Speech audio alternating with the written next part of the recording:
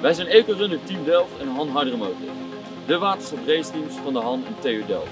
En vandaag zouden we eigenlijk in Londen staan bij de Show Eco Marathon competitie. Maar door het coronavirus is die helaas afgelast. Daarom hebben onze twee teams het initiatief genomen om zelf een competitie te organiseren. We gaan kijken welke van de twee teams het meest efficiënte waterstof aangedreven voertuig heeft gebouwd. Bij deze Hydrogen Endurance Race gaat het niet om snelheid, maar om efficiëntie. We moeten 10 rondes rijden met een minimale snelheid van 25 km per uur. Wie aan het einde van de rit het minste waterstof heeft verbruikt, wint.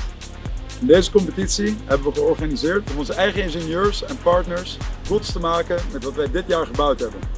De meest efficiënte waterstof aangedreven voertuigen.